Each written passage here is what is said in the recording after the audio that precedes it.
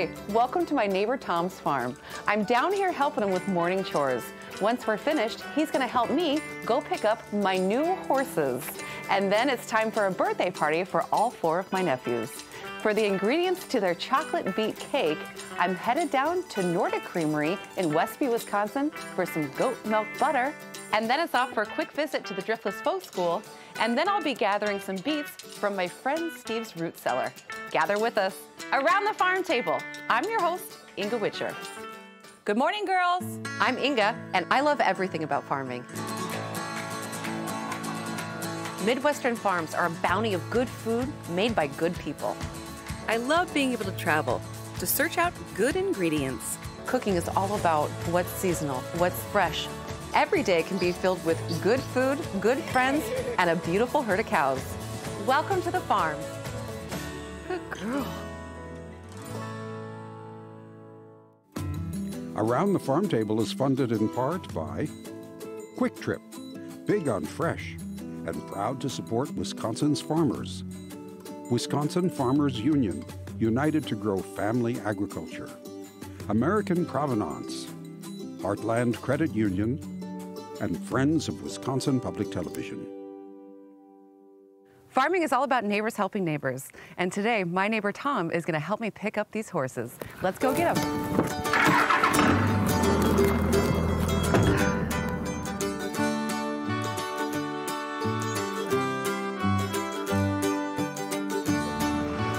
Tom and I couldn't help but reminisce on our ride to pick up the horses. He and his brothers had horses growing up. My brothers and I shared Pepper, our Shetland pony. Pepper was as stubborn as they come. Tom and I also reflected on the early days of his farming. I asked him how he overcame the challenges of farming alone. Neighbors, he said. I guess some things never change.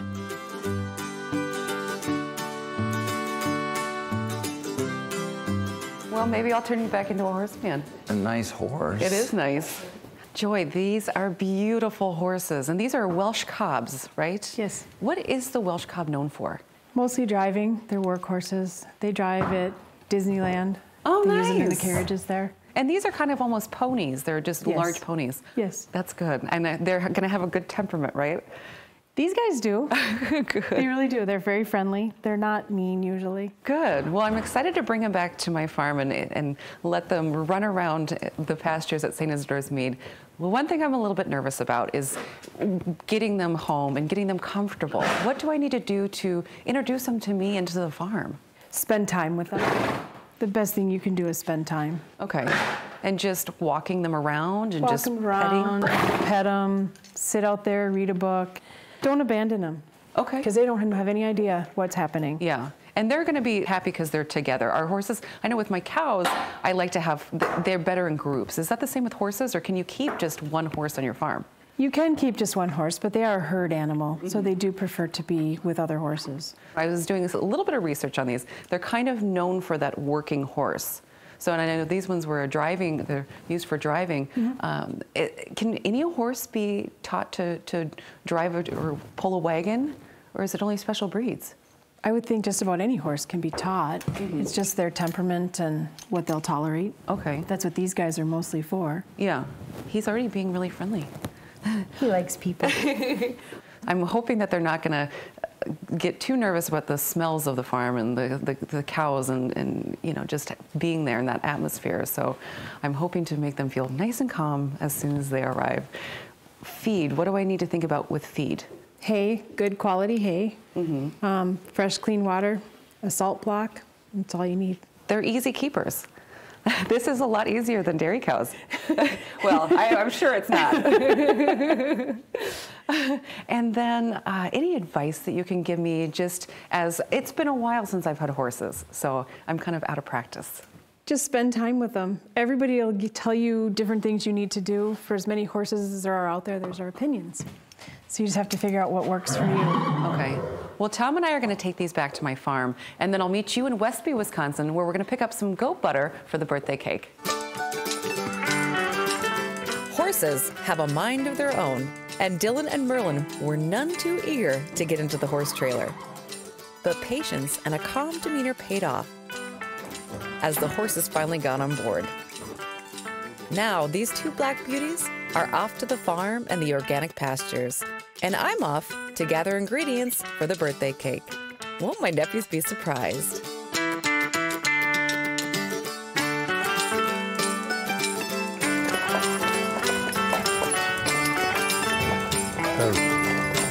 My friend Al picked me up near Westby, Wisconsin to give me a little taste of what it might be like with my ponies. Not only is he a horse enthusiast, but he's also an artisan cheese and butter maker. And today I'm here at Nordic Creamery to learn how to make goat butter. Al, this farm has been in your wife's family for quite a few years. 100 years this year. That's amazing. I love hearing about these 100 year old farms because so many farms are disappearing from our landscape, I think. And to see that the farm has been passed down from generation and that's still thriving, it makes me really excited. Yeah, we're pretty proud of, uh, of what we've done on the farm here, building the plant uh, about seven years ago, uh, hoping to have something to pass down to the next generation. Uh, we've got six children, so we, we want to have something that they can enjoy and, and hopefully make a living at. That's wonderful. And I think it's important to, it's, there's a sense of security by turning that milk into your own product, isn't there? And, and knowing that uh, you, can regulate your price. The milk price is so fluctuating these days, it goes up and down. And this is a nice way to secure your market. Yeah, we make a you know a little unique product here and there, and uh, demand a, a, pretty nice price for it. But most of that is passed back down to the farmers, so they can also make a living too. Sure. One of the reasons I like buying locally, we have so many great cheesemakers here in Wisconsin, is because you're you're giving the money back to them, but which they're in turn giving their to their communities. So it's all staying together, which I think is just how the food system should work. Personally yeah, we're all in this together and we all need to kind of make a living and, and have fun while we're doing it too. What got you interested in horses and driving? A couple years ago, we decided to uh, get our first team of draft horses, and uh, since then we've added a few more and a few more and a few more, and uh, we really enjoy it. So, how many horses do you have right now? We have almost 30 horses now. So, you have no extra time in the day to do anything? Uh, no, it, you start out with six kids, you know that time is uh, not an issue there. So, uh, yeah, we we're busy. Well, what do you hope to see the creamery happening? What do you what are your growth goals in the next ten years? Well, uh, you know, we have some projects coming up, uh, some new product that we're going to put out there, uh, and we want to keep making the the staples that we have some really nice product that uh, people really do enjoy. What's your favorite part about making cheese? Just to, to take the raw product and turn it into something that uh, people out there can enjoy and uh, know where it's coming from and, and what we, the hard work we've done to make it. Well, wonderful. Well, I am so excited to learn about goat's milk butter in particular, something I never really heard of before. So why don't we head on out to the creamery and Al's going to teach me how to make goat's milk butter. Thank you so much for giving me a ride on these horses. It makes me less intimidated just to drive my own. It's my pleasure to pick you up out here and bring you into our nice little plant and give you a little tour. I'm excited. Al, it's been about 15 years since I made butter in this scale. Can you tell us what the process of making your artisan butter is? So we're going to add the cream to the churn. Um, we're going to get her closed up here and uh, start it up, and it's going to take about 15 to 20 minutes for this to churn. Alrighty. Uh, and then after that, we'll drain the buttermilk off and uh, add the salt. We'll start it up. All right, here we go.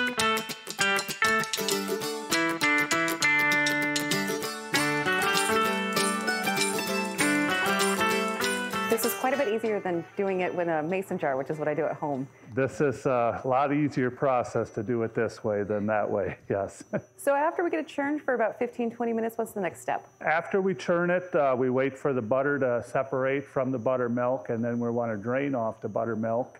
And then we're going to add salt to it, and then we're going to work that salt into the butter, and then take it out and package it. That's fantastic. It's, it's so simple.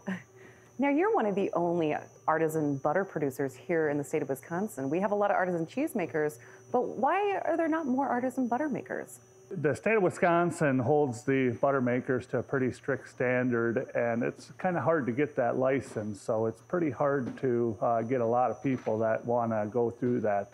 But artisan butter is so good.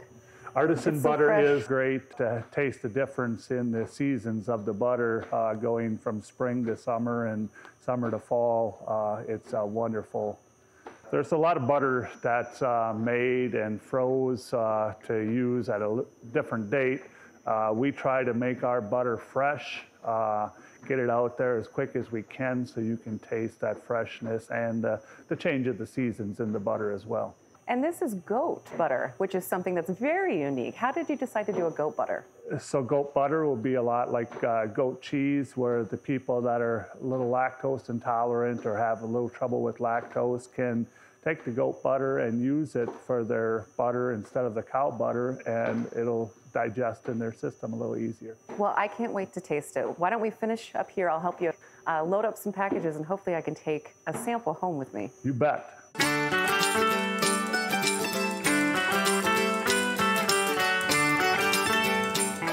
This looks great. I'm to help Al package up this beautiful butter. Why don't you head on over to the Driftless Folk School, and I'll meet you there.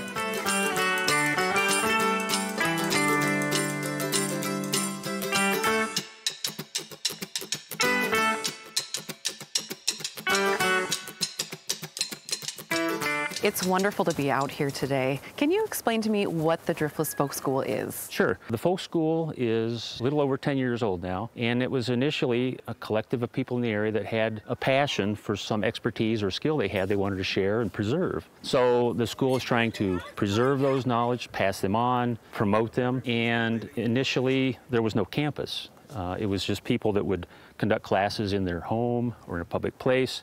But a little over two years ago, uh, they got into a partnership with Bear Creek Farm, and now we have a five acre campus. We're slowly building infrastructure so that more and more things can happen here, like the cabin. That sounds exciting. What kinds of classes ha- have you offered in the past? It's a wide range and usually has to do with crafts or skills or ho- homesteading type things. Uh, some of the classes I've taken are deer butchering, chicken butchering. My wife's done fermenting. Uh, I did some pru- tree pruning to learn how to keep my apple trees in shape. So a, a wide range. These really sound like skills that uh, perhaps my grandparents would have passed on to me. And it's nice to know, since they didn't pass these tricks on to me, that there's a place where we can relearn these amazing skills. You know, I was raised on a farm, but it was a conventional farm. And I think some of these things kind of skipped a generation or just didn't get passed on the same way. So now that I live here, I'm excited at all the classes I can take and learn the things I should have before. One thing I think that it's great about the school is that you're learning from your neighbors, your peers. Uh, There's not these sort of academics coming in to, to teach you these labor-intensive things. You're working right alongside your neighbors. There's definitely a community piece to it. Uh, locally, in the Driftless area, there's an attempt to relocalize, let's say, and, and create community, and that's part of what the school would like to do. Uh, but people can sign up from anywhere, from, from large cities, come here for a weekend, uh, and that's, that's kind of community also. Uh, again, these were people in this area that all happened to know each other, connect, and, and create this, this school, but also to be a, a resource for the area. And, and it doesn't just have to be local community. People come here from pretty far away sometimes, and then that's another form of community. It's a common interest. I love that. I'm about two hours away from here, and there's definitely some classes that I'm looking forward to taking this summer, and I don't mind driving down because there's skills. Chicken butchering, I just, I love this, and I want to bring uh, people with me so they can learn these skills and come back and help me butcher chickens. But in the meantime, what I really came for is to learn more about root cellars, and I know that you have a root cellar. I think it's a wonderful way to keep food throughout the winter, and I'm hoping that maybe you could show me yours and just teach me a little bit more about it so that I can build one at my house. I'd love to do that. Wonderful. Well, let's take off.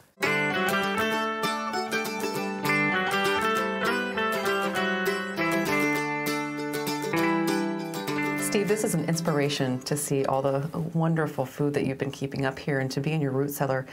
I'm really inspired to do a root cellar in my basement, and I know that ventilation is key. Can you explain what I need to be thinking about when it comes to ventilation? Sure, sure. Two things to, to ventilation. First off, you need to make this area cold, as cold as you can. So you need cold air from outside to be able to get in. And then secondly, for root vegetables and things that aren't dehydrated, they need to have high humidity, but not so wet that they'll get moldy. So you need air movement, but it needs to be cold, humid air. So that's why, for example, on these bins for potatoes and things, I've got slats for air. So air movement all air the time. movement. You don't pile them too deep. That's why there's m- several different layers. Okay. Same thing for other root crops. All right. Now, do you have to take any air out? When you have a root cellar that needs that air movement, yeah, you need air in and air out. In this root cellar, I added a second line to bring cold air in, and then this vent is where the warm air gets pushed out. And what's the optimal temperature for the root cellar? It depends on the vegetables. Some some like it really cold, just close freezing as you can get, and others not as cold. But in general, you want it cold. But how do you deal with the different temperatures in the space? Yeah, root cellar will have zones, and, and you, it takes some maybe putting thermometers to see where exactly things are going on. But down low will be the colder stuff. So stuff that likes it cold, you, you put in the lower bins.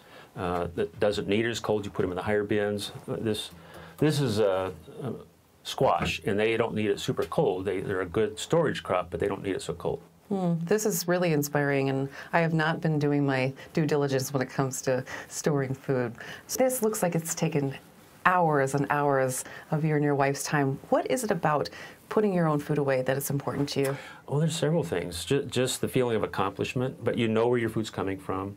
Uh, you want to live a more sustainable life, grow your own food, and um, you can extend the season for how long you eat your own food. It's great to have tomatoes in the summer, but a lot of this food will be eaten all year. And I bet it tastes a lot better than you just go to the grocery store. It does. It does. Well, I was wondering if I could taste some of your beets that you've been storing. I'm planning on making a birthday cake for my nephews. We still have some beets left. Well, fantastic. Well, I'm going to get the produce, and then why don't you meet me back at the farm where we're going to make up a beet chocolate cake?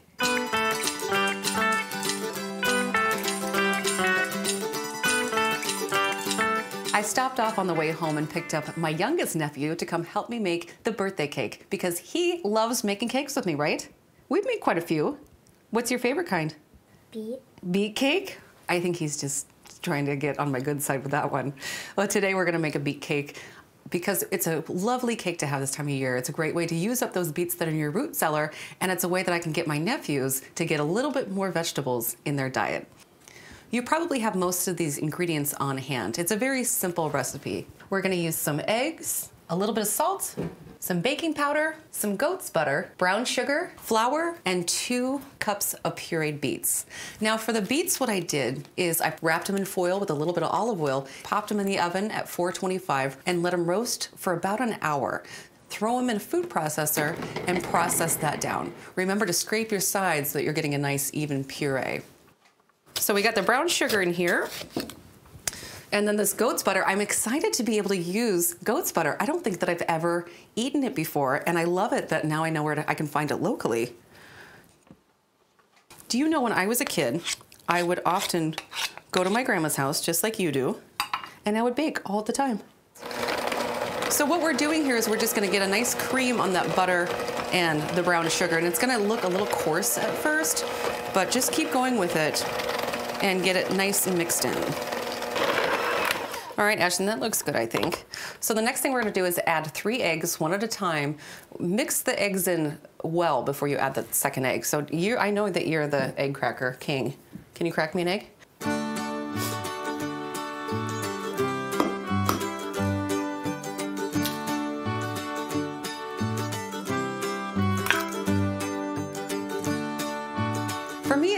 Important to be able to cook with my nephews, and cooking with kids is, should be important to all of us. It's a great way to establish that passion of cooking for them as they grow up and become adults. And hopefully, when they become adults, they'll want to cook at home more, hopefully, healthy meals, and maybe even with ingredients from their own farms. We're gonna cream this all in so it's nice incorporated. You wanna chop your chocolate up as small as possible so that it melts faster. And then in with the chocolate is a quarter cup of the goat's butter. And this is gonna be a delicious ch- chocolate mixture for the beet cake. Melt your chocolate using a double boiler. A double boiler is essentially a pot with boiling water on the bottom and then a smaller pot that, that just fits right in there. And that's gonna heat gently that chocolate, making it nice and luscious. Once your chocolate's melted, set it off to the side so that it can cool slightly before we use it in the recipe.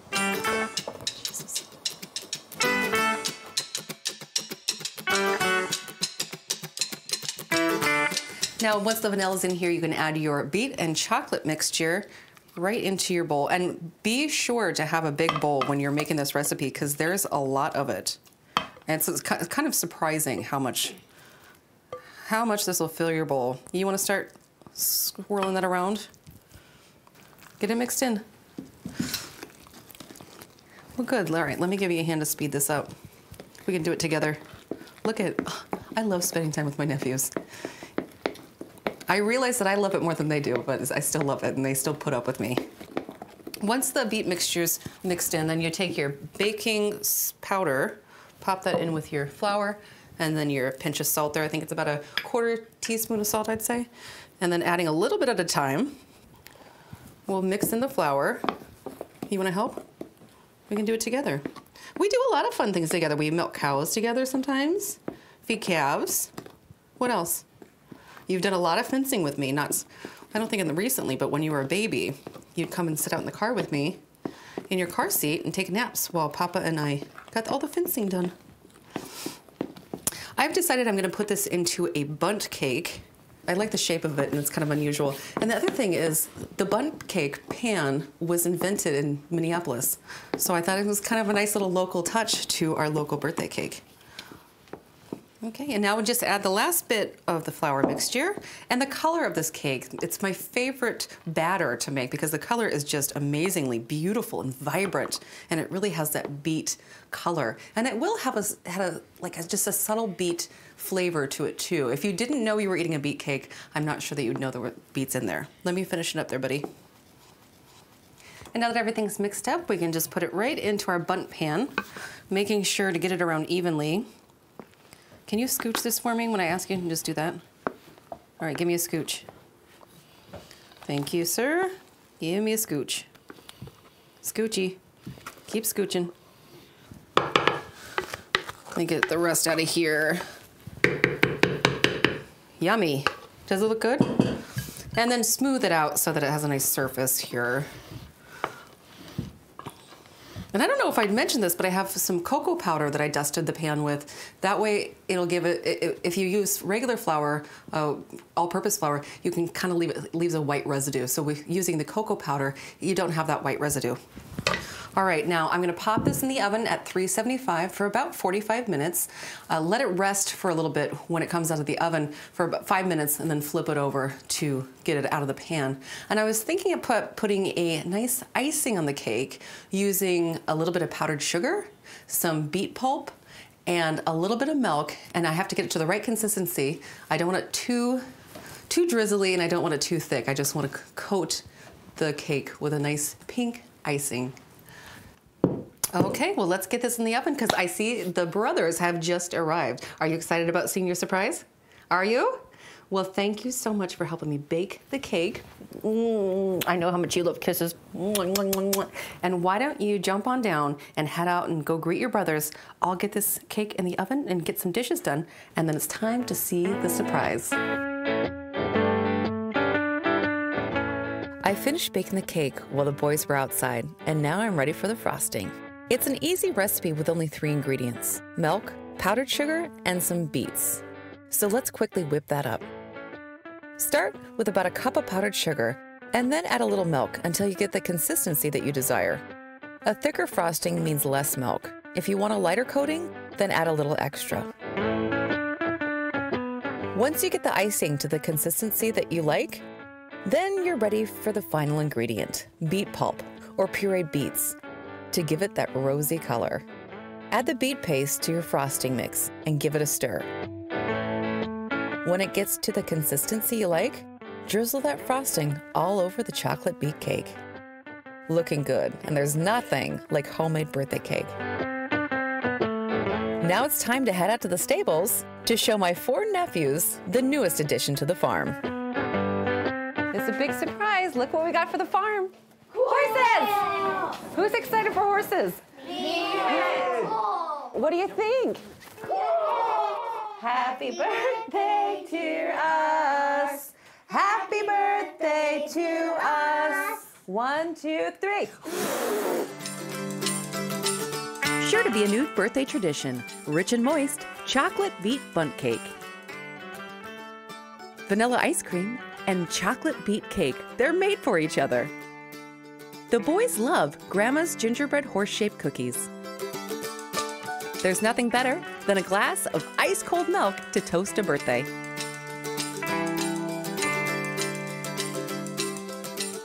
Did you guys have a good birthday party today? Yeah. well, I hope for your next birthday party, you'll consider this chocolate beet bundt cake. And I hope you'll gather with us next time around the farm table. I'm your host, Inga Witscher. Cheers, guys.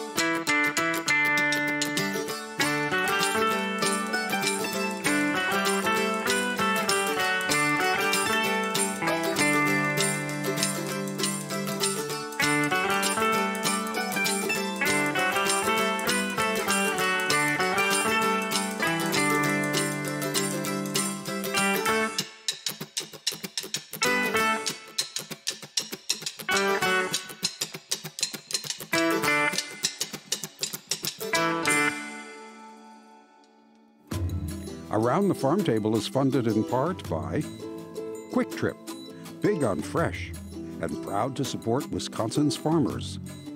Wisconsin Farmers Union, united to grow family agriculture. American Provenance, Heartland Credit Union, and Friends of Wisconsin Public Television.